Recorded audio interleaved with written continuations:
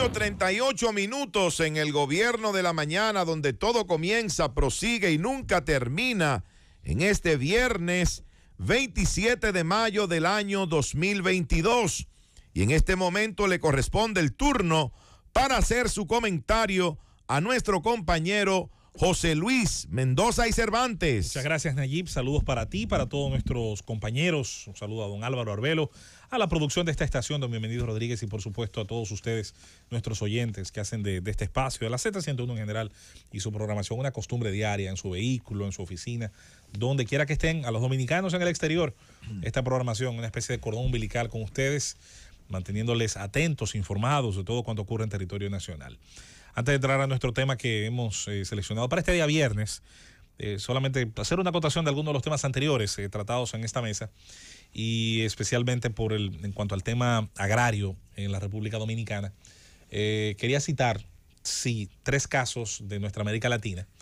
Dos de ellos son, los tres son productores agrarios, los tres son, son productores importantes en el agro, pero dos de ellos son gigantes por un tema de volumen. Y en esos tres países, en, en cada uno de ellos, eh, por no citar otros casos, quise irme a los más cercanos, a los que tienen cierta similaridad geográfica y geopolítica con la República Dominicana. Se han aprobado eh, eh, proyectos de ley similares por su temporalidad y más abarcadores por el número de productos de arancel cero. Es el caso de México, que es un productor del agro que todo el mundo sabe es una potencia enorme por extensión y por la cantidad de productos, incluso productos tan mexicanos como el jalapeño, por ejemplo, que es uno de los, de, los acompañantes de la dieta mexicana, donde toda comida lleva su picante, su salsa, eh, fue colocado en esa lista de arancel cero.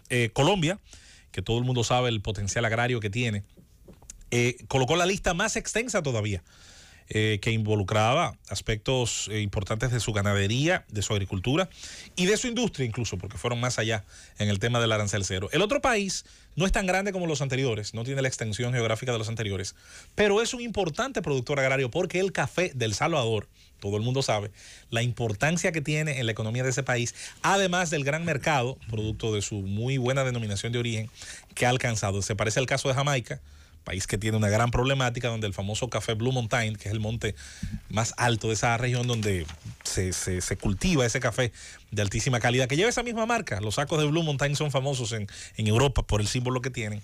Pues en el caso de El Salvador también se aprobó un proyecto similar. De manera que hay ejemplos hacia un lado y hacia otro.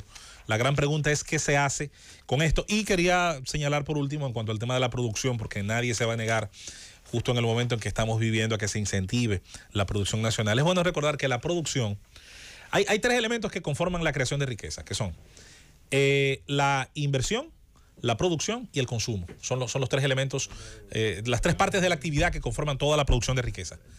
Eh, la parte más automática es el consumo. El consumo se da tan pronto yo compro. Pero las otras dos toman tiempo. De hecho, la que más tiempo toma de todas es la producción. Y la producción agraria, así como la industrial, pasa un proceso. No ocurre al chasquear los dedos. Es decir, no hay necesariamente una antinomia entre intentar promover la producción, generar condiciones para la producción, bajarle costos a la producción y mientras esta ocurre en productos de ciclo corto, ciclo medio, ciclo, ciclo largo, cualquiera de sus formas, en lo que ese proceso ocurre, porque la población no se va a sentar debajo de la mata a esperar que el fruto esté, va a comer todos los días, mientras eso se facilita el tema del consumo. Así que eso quería solamente agregarlo pues a esas interesantes disquisiciones sobre el tema del arancel cero. Eh, el día de ayer el gobierno dominicano en su gran mayoría, pero sobre todo la presencia del presidente Luis Abinader estuvieron en Pedernales. El día de ayer se dio inicio a las obras del puerto de Cabo Rojo. Este puerto eh, Quería, empezar haciendo un señalamiento sobre el mapa de la República Dominicana.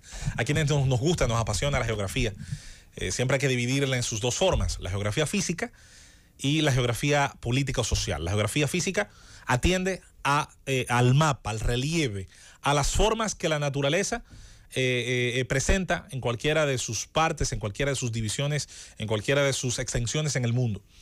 Y eh, obviamente está la geografía política, la geografía política que abarca el aspecto social, donde hay poblaciones, donde hay demografía, donde hay concentraciones eh, de diversos tipos eh, de, población, donde hay distintos niveles de densidad poblacional, donde las propias actividades del hombre ya presentan pues una evolución de ese mapa físico. Y también, por supuesto, En términos políticos, están las divisiones territoriales, están los ordenamientos que surgen a partir de esas divisiones y está la proyección, qué país se quiere, qué se desea, eh, qué se necesita, qué se precisa en cada una de esas regiones para lograr su mayor grado de desarrollo. Al menos eso se supone, que para eso es que el mapa lo dividimos. No es para que se vea lindo en colores eh, cuando se ponen los libros de textos. Se supone que, que eh, también la propia división del mapa, la propia cartografía, se alimenta de razones sociales algunas históricas. Las fronteras, por ejemplo, las fronteras sobre todo nacionales, que son las cicatrices de la historia.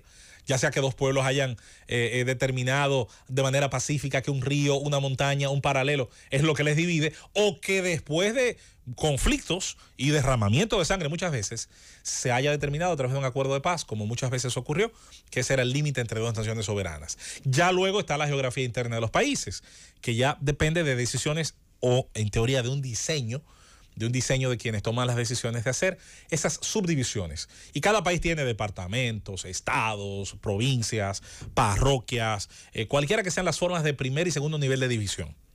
En el caso de la República Dominicana se creó eh, un dibujo eh, provincial, no siempre atendiendo, pienso, a, a muchas motivaciones racionales, muchas subdivisiones que hoy existen perfectamente pudieron integradas dentro de las provincias que existían tal vez con una política responsable de ordenamiento y división territorial, haberse desarrollado. Pero a veces eh, la parte política persigue unos fines, se agranda la burocracia estatal, un senador más por aquí, tres diputados más por allá, y así en esas subdivisiones tenemos un cálculo electoral, electoralista que muchas veces ha ido a, contracamino, en contra de la dirección que debe llevar el desarrollo nacional.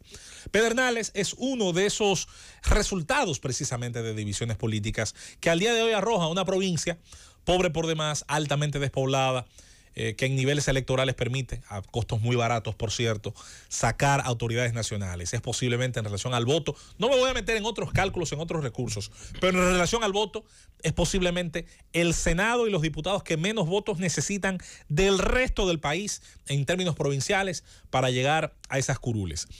Pedernales eh, es histórica histórico el reconocimiento a su potencial.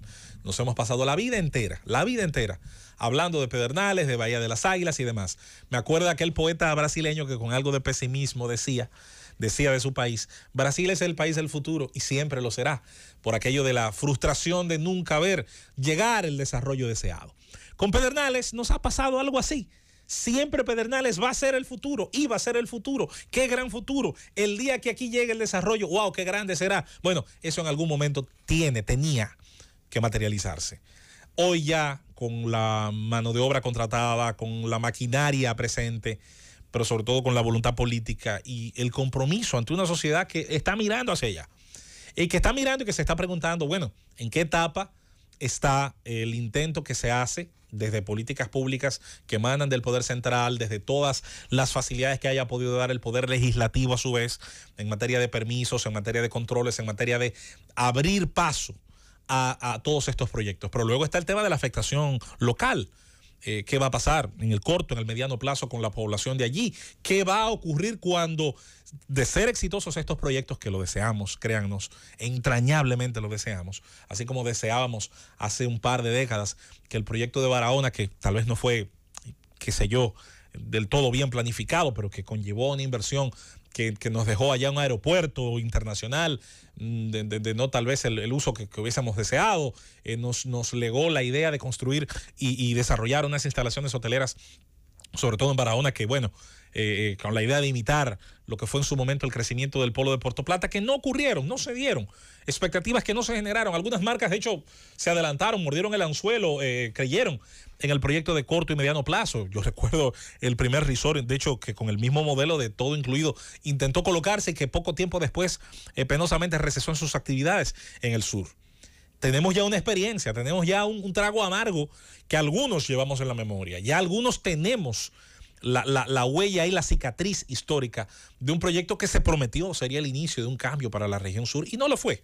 No lo fue, no se tomaron en cuenta una serie de elementos que eran importantes en ese entonces. Hoy ya se supone que la lección está aprendida, ya se supone que sabemos que no puede haber desarrollo en un polo tan aislado donde le falta alrededor infraestructura, donde no desarrollemos las capacidades de consumo de energía eléctrica, por ejemplo, las acometidas de agua, pero que veamos más allá de la curva y sepamos que si ese proyecto tiene éxito, retomo, retomo el hilo, van a acudir allá quienes todos los recursos humanos interesados en participar de ese polo de éxito.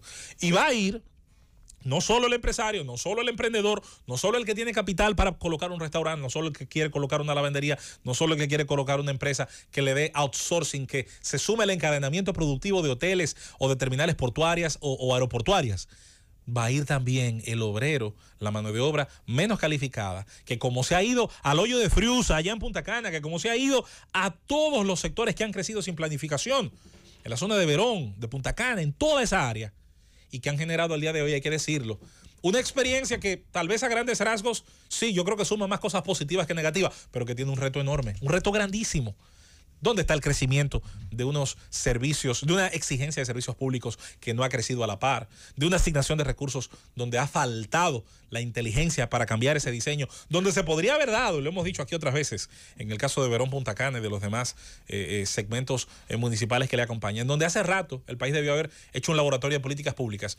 Yo he sugerido, y lo sugirió de hecho uno de los candidatos en el pasado residente, la condensación, la fusión aunque eso es una mala palabra aquí porque implicaría reducir espacios, eh, eh, administraciones municipales y fusionarlas en una sola, precisamente por el crecimiento demográfico de Punta Cana y crear un gran municipio de vocación de servicios turísticos que reciba los recursos que merece en base a la población que ha acumulado porque se supone que así se ha calculado toda la vida la representación congresual, los recursos que en teoría deben subdividirse al momento de aprobar el presupuesto y de otorgarlo, por ejemplo, a la autoridad municipal. Veamos ese espejo de lo que también en Punta Cana, con todo su éxito, se ha arrastrado. Eh, eh, Punta Cana, Puerto Plata, el caso de Barahona que coloqué, eh, que no fue positivo en su momento, pero que ha tenido una gran recuperación a la actualidad. Son grandes ejemplos. Cada uno arrastra, como si fueran los grandes planetas del sistema solar, arrastra su, su estela de satélites. Cosas buenas y cosas negativas que deberían desde ahora prever y evitarse. Hay que hacer desde ahora levantamiento, ordenamientos, uso de suelos y prevenir un posible crecimiento demográfico para el que todo este, todo este tiempo no ha estado preparada esa zona. Desde ahora hacer los dibujos en la planificación urbana, pensar en que si tenemos éxito, y yo creo que vamos a tenerlo, apuesto a que vamos a tenerlo, entonces se va a dar ese crecimiento. Y ese crecimiento implica tener las reglas de juego antes de que lleguen los jugadores, los actores sociales que van a participar de ahí como empleados, que van a participar de ahí precisamente como toda esa estela de negocios que se surte, se nutre de las necesidades entonces de quienes van a apostar por el proyecto de Pedernales. El puerto es sumamente importante. Yo hablaba ahorita del mapa porque si usted toma el mapa de la República Dominicana y, va desde su punto al norte en Manzanillo, Montecristi, a, Cabo Rojo en Pedernales, usted va a hacer una especie de triángulo isósceles, ¿verdad? Con un ángulo más largo que otros dos que son paralelos. Y esas dos terminales portuarias, su ubicación es neurálgica para pensar en el desarrollo del país. En el caso del puerto de Cabo Rojo, ya no solo por la implicación extraordinaria que tiene el proyecto del desarrollo hotelero, sino también para pensar que el sur, la región sur, puede, a través del puerto Barahona, a través del puerto de Pedernales, encontrar dos excelentes terminales para salida de productos que también tienen vocación de exportación, pero también para la entrada de productos y mercancías que van a ser necesarias tanto para otras actividades económicas como es la parte industrial, pero también para los servicios y para una gran cantidad de actividades que se generan a partir de la apuesta para desarrollar este polo eh, económico, turístico eh, y social que sería un Pedernales ya con otros niveles de desarrollo. Pero esto implica también otro aspecto en el que se tiene que reforzar la planificación. Es una provincia fronteriza con todo lo que eso significa. Con todo lo que eso implica. Si hay en la provincia de la Altagracia, que está en el otro, en el otro ángulo de ese, de ese triángulo isósceles, usted tiene un problema de la presencia también de inmigrantes haitianos indocumentados. Pues imagínese usted si no se hacen las cosas adecuadamente, tanto con el muro como con la vigilancia, como con un cambio en la política fronteriza, la problemática que podría presentarse entonces, una vez esa mano de obra tenga a tiro de piedra, la posibilidad también de ir y de manera no planificada a ese posible crecimiento eh, eh, eh, urbano y de población que se pudiera dar en Pedernales. Ya primer Picasso, discurso del presidente, alegría, esperanza, recursos eh, económicos, pero adelantémonos a lo que esto va a traer para que podamos hoy, cuando se anuncia la abundancia, mañana administrar lo que podría ser también la escasez porque la escasez es la verdadera naturaleza de cualquier cosa que llamamos recursos, cuando es finita y debe administrarse correctamente para que pueda afectar positivamente a la mayor cantidad de la población. Llévatelo,